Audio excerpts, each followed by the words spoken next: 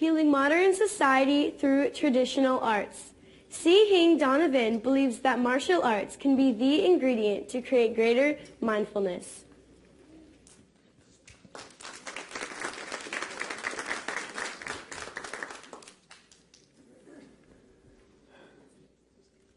I know firsthand how powerful traditional arts can be because my experience with it has completely transformed my life. As a child, I thought there was something wrong with me. I was sensitive, and our society perceives this as weakness, so I was picked on and had no confidence.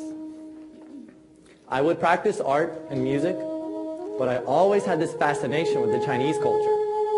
You look at their history, and art, to them, isn't just a little activity or a hobby, but a way of life. For thousands of years, the traditional arts of China are methods of self-mastery that are intrinsic to daily life. So when I started learning these arts, everything changed. The development that I experienced completely surpassed my expectations. Now, it wasn't easy, but what has real value never is. My master handed me the tool and said, you go sharpen it. So I knew what I needed to do. There's a saying in China, if you learn, you must teach. Now, having the opportunity to teach has put me in an amazing position to help others so that they can enrich themselves as I have through the ancient arts of Kung Fu, Tai Chi, Qigong, and calligraphy. And I've actually become a disciple of my school's 2,000-year-old pure lineage, a rare jewel indeed, which means I have a responsibility not only to preserve, but to transmit these ancient teachings so it remains a living art and doesn't fall into extinction.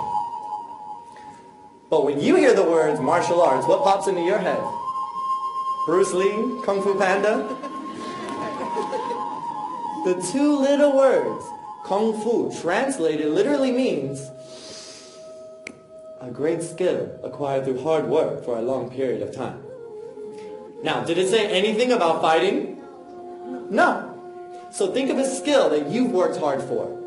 Whether it's being a great teacher, parent, doctor, musician, painter, whatever. You could say, I have Kung Fu. Now, teaching calligraphy to my younger students invigorates focus, self-control, and an appreciation of detail. Now, the beauty of this art is also Kung Fu at its best. The characters in the Chinese language offer insight to the philosophy of their culture as revealed through their legacy of renowned scholars such as Lao Tzu and Confucius. My fellow disciple, he's studying acupuncture, which although is a medical art, it's approached holistically and is not separate from the art of living. There is a very common misconception that the martial arts are only about fighting. Yet the fighting aspect is actually the lower goal. The higher focus is the refinement of consciousness. I mean, there is already enough violence in the world. With the overwhelming dehumanization of our species, it is imperative that we regain balance, humanism, and integrity. Art has been documented to improve test scores, critical thinking skills, improve self-esteem, and self-expression.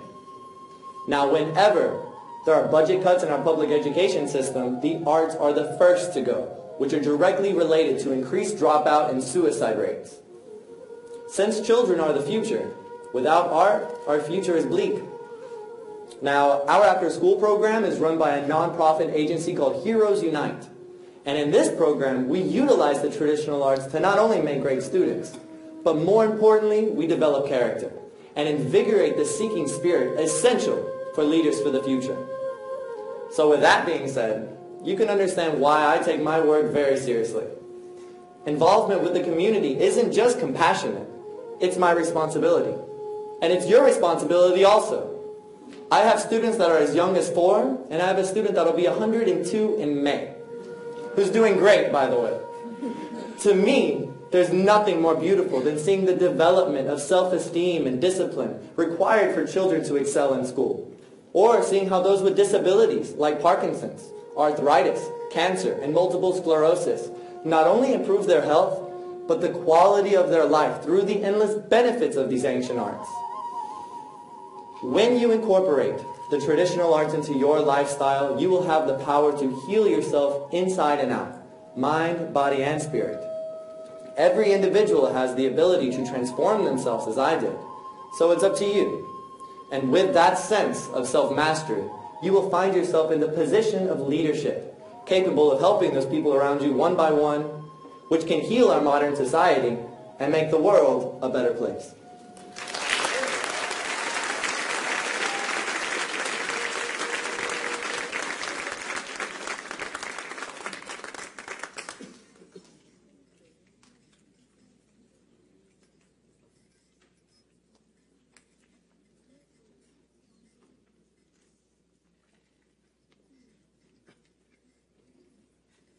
Because I want to. A journey. John's question as to why he danced